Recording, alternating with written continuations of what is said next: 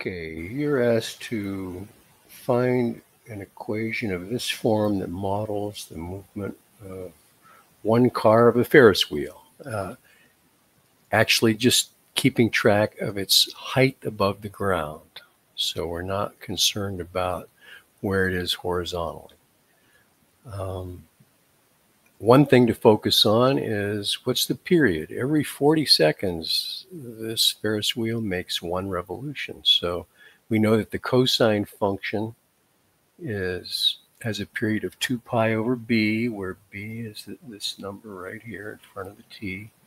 So we want the period to be 40 seconds. So if we set this equation up and solve for b, there's the value of b, pi over 20. Now, another thing, so, so far we have uh, a cosine of pi over 20 times t plus c. c really represents the midline. And in the standard cosine function, the midline is at zero, y equals zero. The amplitude is how far above and below the midline the graph climbs. Uh, also, the basic cosine function starts up at its highest point and then travels down. But we want this Ferris wheel to start down and then climb up. So that's why if you, you have to put a, at least a negative sign in front of the cosine. And then we're starting below. Here I've added this 14, which is moving the midline from zero up to here. That's the midline. And how far does the Ferris wheel climb above and below its midline? 12 units. So that's the amplitude, A. But it has to be negative so that we start down instead of up. Okay, so h of t equals amplitude negative 12 cosine of pi over 20 t, that pi over t reduces period to 40 seconds, and then plus 14 to move the midline up. And here's what we've got. There's the graph. Okay, where I put x greater than, I used x instead of t. Uh, if you want to answer the question, when is the height 20? I really want to know when is H 20? When are we 20 units above the ground? Okay, and so we're going to set this equation equal to 20 and solve for x. I can subtract 14, divide by negative 12. I get negative 1 half pi x over 20 is then equal to inverse cosine of negative 1 half. In the first revolution around the unit circle, there are two places where the cosine is negative 1 half, and that's when this is negative 1 and this is 2, which makes this uh, an angle of 60 degrees, or pi over 3.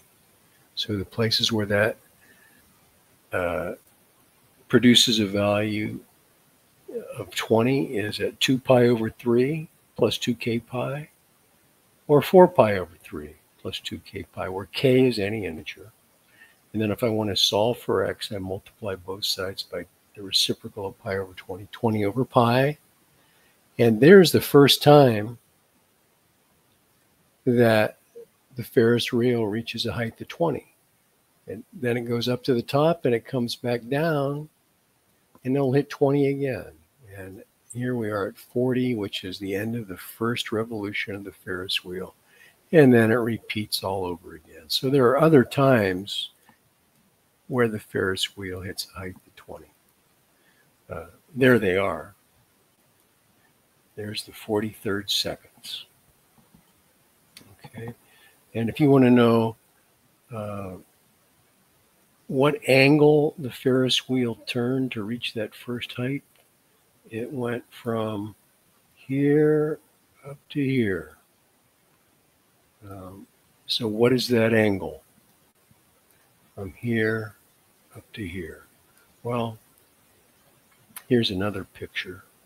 Uh, if this height is 20, the midline is 14, that means this is 6. And of course, the hypotenuse is 12. So here's the diagram for this angle theta. Sine of theta is 1 half, so this angle is pi over 6. But we have to account for that angle also, which is pi over 2. So 2 pi over 3. Okay, real quick, I'll share my screen. Go to Desmos so you can see that this blue circle represents the Ferris wheel where I've labeled the height as 2. As we rotate, the red graph is the cosine function that we created. But you'll notice the height mimics the y value of the cosine function. So there's the little Ferris wheel car. There it is reaching a height of 26. Back to 20. And there's one complete revolution. Taking us back to a height of two feet off the ground. Okay, there you go. Hope that helped. If you have any questions, post a comment.